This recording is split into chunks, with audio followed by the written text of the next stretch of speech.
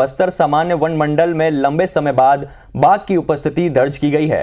कड़पावड़ से लगे जंगलों में बाघ अक्टूबर महीने के पहले सप्ताह से पालतू मवेशियों को अपना शिकार बना रहे हैं। वन विभाग के ट्रैप कैमरे से इसकी पुष्टि हुई है, जिसके बाद इलाके के करीब 25 गाँवों में अलर्ट जारी कर दिया गया है।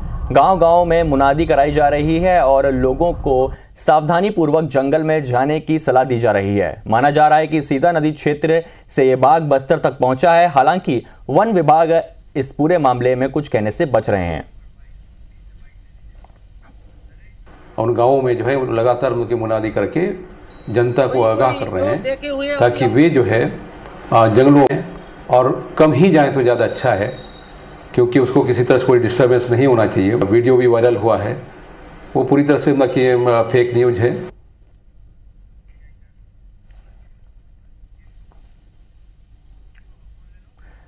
तो इस खबर की ज़्यादा जानकारी देने के लिए हमारे साथ हमारे संवाददाता नरेश मिश्रा जुड़ चुके हैं। नरेश जी बताएँ कि बस्तर में बाघ ने दस्तक दी है। क्या है पूरा अपडेट?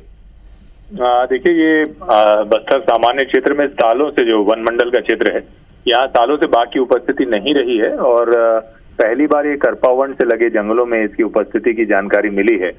हालाँकि अभी तक वन विभाग आधिकारिक तौर पर इसकी पुष्टि नहीं कर रहा है, लेकिन अपुष्ट सूत्रों से पूरी तरह से तस्दीक हो चुकी है कि बाघ ने ही यहाँ पिछले दिनों शिकार किया है और इस वजह से ही मुनादी आसपास के 25 गाँवों में की जा रही है, जो जिन जगहों पर ऐसा अनुमान है कि बाघ इस क्षेत्र में अभी हो सकता है।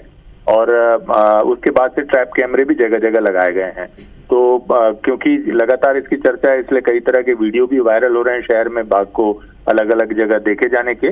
लेकिन इन वीडियो को तस्दीक करते हुए भी विभाग ने कंफर्म किया कि ये दूसरी जगह जी नरेश लेकिन धन्यवाद जानकारी के लिए।